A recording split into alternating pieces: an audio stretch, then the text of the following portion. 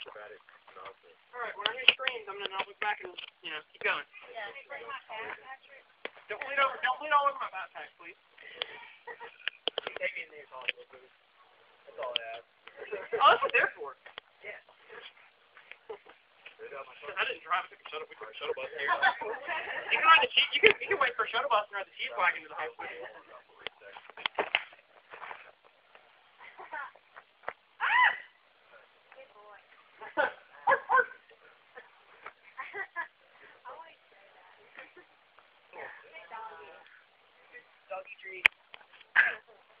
Alright, now jump down. You remind me of Illinois time. Don't take this the wrong way, like in a really, really super good way, but you remind me of Chris Sharma. You just like decide to skip every freaking hole by like campusing or dynoing. Yeah, just, hey, man,